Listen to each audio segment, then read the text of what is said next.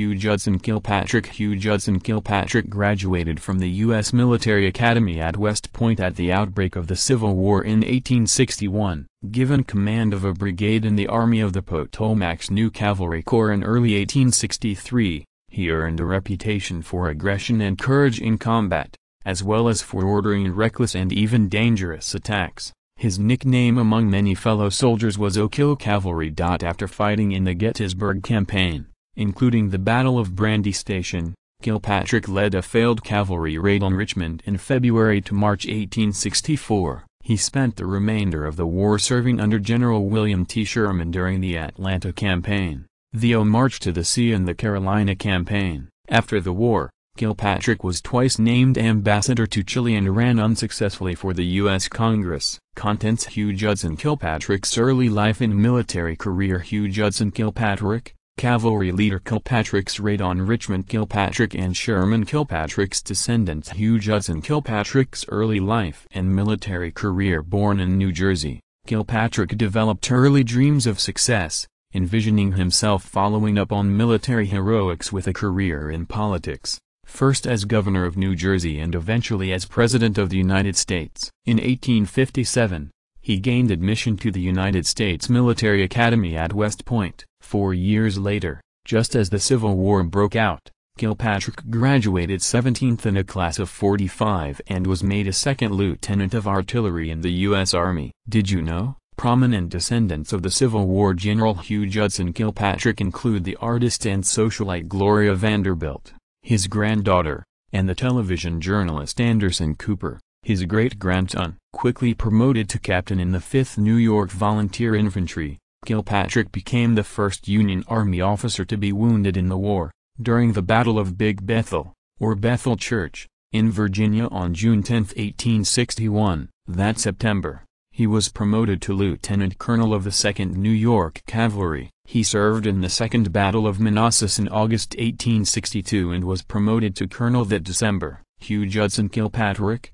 cavalry leader in February 1863, Kilpatrick was given command of a brigade in the Army of the Potomac's newly established Cavalry Corps. That summer, as Robert E. Lee's Army of Northern Virginia planned its advance into Pennsylvania, Kilpatrick's men took part in the Union cavalry's surprise attack on Jeb Stuart's rebel cavalry troops, which were at the time headquartered at Brandy Station in Culpeper County, Virginia. The Battle of Brandy Station on June 9, the largest cavalry battle of the war, pitted 11,000 Union forces against 9,500 Confederates. After the initial surprise, Stuart's men were able to rally and push back the Union troops by the end of the day. In mid-June, Kilpatrick was promoted to brigadier general. In this position, he commanded troops in the decisive Battle of Gettysburg in early July. Kilpatrick's raid on Richmond by early 1864, Kilpatrick had gained a reputation for bravery in battle. He was also known for ordering reckless, even dangerous cavalry charges and attacks. Critics referred to him by the dubious nickname O'Kill Cavalry.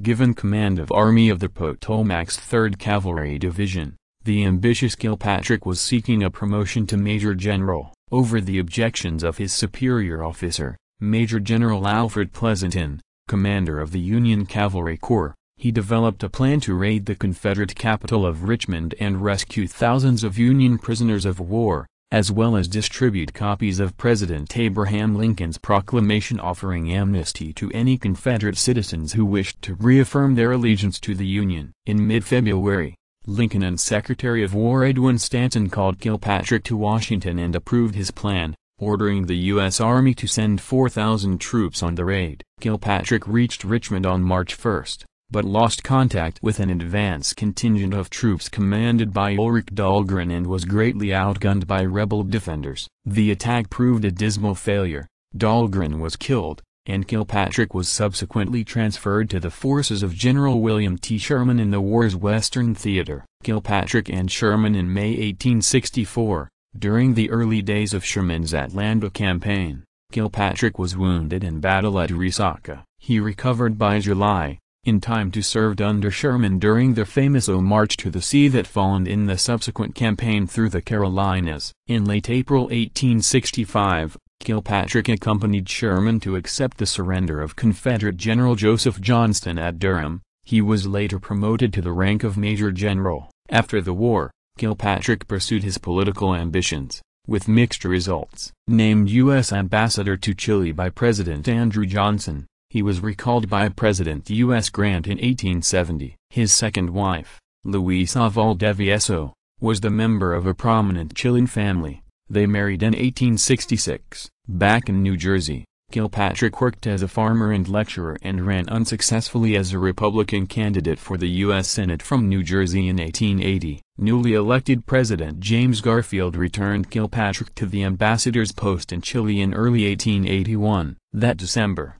Kilpatrick died in Santiago at the age of 45. Kilpatrick's descendants Thelma and Gloria Morgan, the twin granddaughters of Kilpatrick and his second wife, Luisa Valdivieso, were prominent New York City socialites in the 1920s. Thelma's high-profile paramours included the Prince of Wales and future King Edward VII, who later abdicated his throne to marry the divorcee Wallis Simpson, while Gloria married railroad heir Reginald Claypool Vanderbilt. After his death, Gloria's mother Laura Morgan joined the Vanderbilts in a lawsuit contesting Gloria's guardianship of the couple's daughter, known as O Little Gloria.